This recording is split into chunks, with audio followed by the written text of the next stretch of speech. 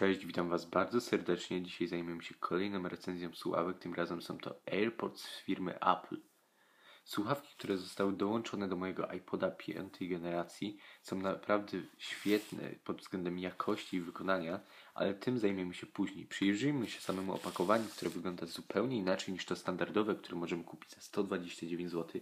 A dlaczego? Dlatego, że nie posiadają one mikrofonu, który no, jest ogromnym minusem, bo jakby Apple chciało, to by po prostu mogło dodać ten mikrofon, żeby można było korzystać z nich chociaż yy, przy rozmowach. No co prawda no, z iPoda nie można korzystać z rozmów, no to, to fakt, no. Ale yy, tak coś powinni dołączyć. Tym bardziej, że no, za tego nowego iPoda wydałem równo chyba 1349 zł. Tak mniej więcej wygląda samo opakowanie sławek. To nie są żadne tanie chińskie podróby, to są oryginalne sławki dołączone do iPoda, który dla, którego dla Was odpakowywałem. No i powiem szczerze, kiedy zobaczyłem nowe słuchawki podczas prezentacji iPhone'a 5, od razu w oczy rzucił mi się ich oryginalny i niepowtarzalny kształt, a nasunęło się pytanie, czy to rzeczywiście rewolucja, czy tylko odświeżony wygląd. I zaraz właśnie się tym zajmiemy. Nowe słuchawki idealnie pasują do kształtu uszu. Zostały tak zaprojektowane, żeby po prostu y, dźwięk trafiał bezpośrednio do przewodu y, słuchowego, a nie jak miało to miejsce w przypadku innych słuchawek dousznych, w których dźwięk głównie uderzał w małżowinę uszną. I właśnie to jest największym plusem tych słuchawek. Jeżeli chodzi o słuchanie muzyki, no to w starych słuchawkach Apple po kilku godzinach odczuwałem straszny dyskomfort i po prostu ból uszu spowodowany kształtem naszych słuchawek. Dzięki nowemu i unikalnemu wyglądowi dopasowaniu nie odczuwam absolutnie żadnych dolegliwości. Ciekawym dodatkiem, jaki no, pojawił się w nowych słuchawkach Apple jest regulator głośności.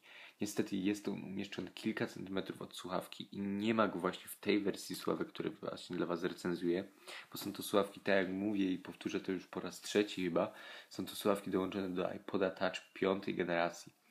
Jeżeli chodzi o nowe słuchawki, no to projektanci zrezygnowali z warstwy gumy, która otaczała do uszną część słuchawki. Guma gromadziła dużą warstwę kurzu i brudu oraz po jakimś czasie użytkowania odklejała się i odpadała. Nieuniknionym problemem z słuchawkami jest plątanie się kabelków np. w kieszeni, dlatego warto też wspomnieć o opakowaniu słuchawek. W tym przypadku jest to tekturowe opakowanie i trochę styropianu, które no może nie, nie tak łatwo wkłada się jak do, do, do tych dołączonych do iPhone'a 5 słuchawek z mikrofonem. No, pudełko dzięki odpowiedniemu kształtowi na pewno yy, dobrze nadaje się do trzymania słuchawek w kieszeni bez obawy przed ewentualnym zaplątaniem się kabelka.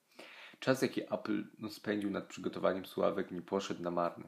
Jakość dźwięku jest naprawdę rewelacyjna i nie ma tu żadnych, je, jeżeli chodzi o jakość dźwięku, y, powiem szczerze, nie ma tu żadnych różnic, bo słuchałem od znajomego ze słuchawek właśnie tych dołączonych do iPhone'a i słuchaliśmy tych właśnie moich dołączonych do iPoda Touch i nie ma tu żadnych różnic dźwięku, jest tylko różnica tego, że nie ma tutaj mikrofonu i tego dodatkowego y, modułu na, na kabelku no tak naprawdę dostajemy fantastyczny produkt.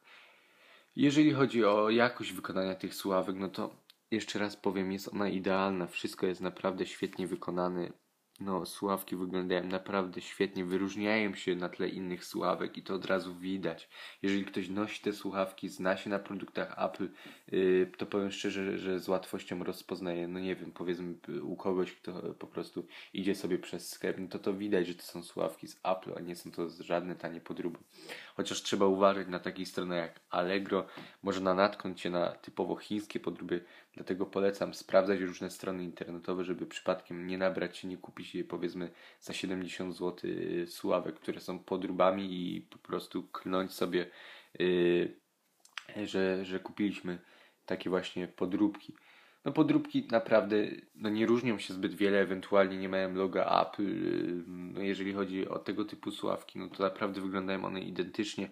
Możliwe są jakieś tam malutkie niedociągnięcia, jeżeli chodzi yy, o ich design. I to by było na tyle, jeżeli chodzi o dzisiejszą recenzję.